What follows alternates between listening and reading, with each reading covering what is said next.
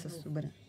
Oi meninas, tudo bom? Vou fazer o retoque dessa sobrancelha. Vocês estão vendo que tá faltando um fiozinho bem aqui, ó, que não pegou. Então, olha a quantidade de pigmento que eu coloquei no, no Tebore. Então, eu vou ver, ver se né, não tem muito, aí eu venho aqui, ó.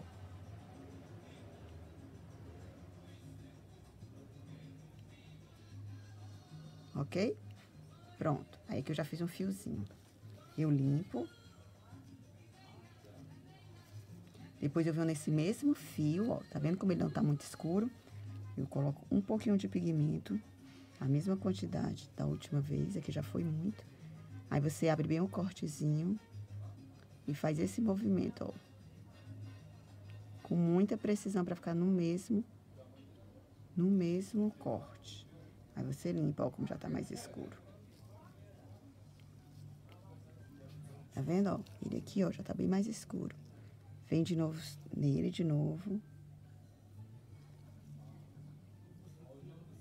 Ó, tá sangrando até um pouquinho. Ó, o, o sanguezinho que sai, é só isso. Você faz esse movimento. Você pode fazer isso até duas, três, até você ver que escureceu. Pronto, aqui já pegou mais. Eu ainda vou fazer mais, vou passar mais duas vezes aqui, pra poder ficar da cor que eu quero. Mas sem pressão nenhuma, ó esse movimento, ó. Eu tô dentro do corte, fazendo esse movimento. Ok?